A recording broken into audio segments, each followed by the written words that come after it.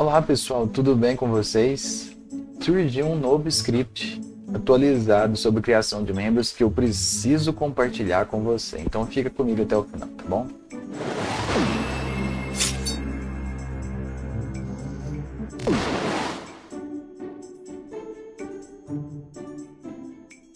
Alex Maletin é o autor desse script, um cara genial, e ele recentemente lançou um script de criação de membros com a forma não destrutiva e tudo mais. O link para o download está aqui na descrição e também no card. Se você também não sabe como instalar script, eu vou deixar um vídeo para sanar suas dúvidas sobre esse assunto.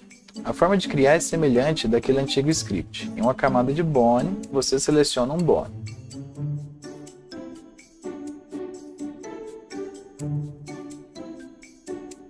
Esse é o script. Ao clicar sobre ele, quando você seleciona um osso, dois círculos verdes vão aparecer, mostrando o raio da articulação. Se você segurar a tecla Alt, você pode modificar esse raio.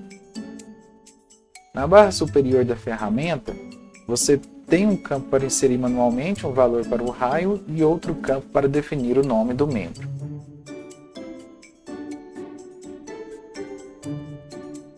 Dois checkboxes indicam que você quer criar a forma com contorno e com preenchimento. E clicando então em Create Bone, você tem uma parte prontinha do membro. Tem uma pasta separada com layers. Pressionando então um novo bone, você pode desmarcar a Start Bone, definir o nome para essa parte e criar novamente uma nova parte.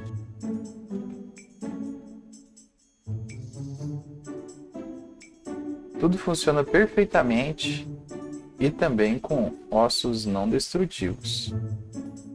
Se você preferir, pode criar todos de uma vez só, semelhante àquele script mencionado antes. Ele entende que você não precisa da junta central e não vai criá-lo.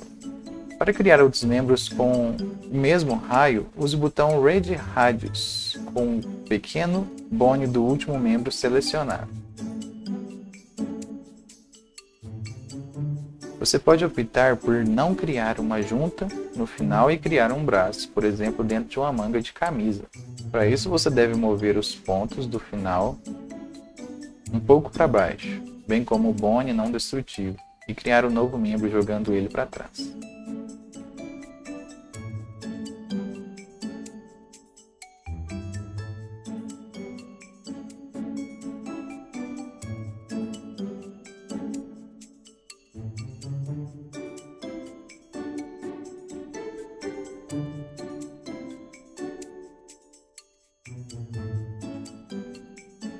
Espero que esse script lhe ajude muito. Agradecemos ao Alex Maletin pela iniciativa e conversando com ele, ele me disse que tem muitas melhorias por vir por aí. Realmente é algo muito ambicioso.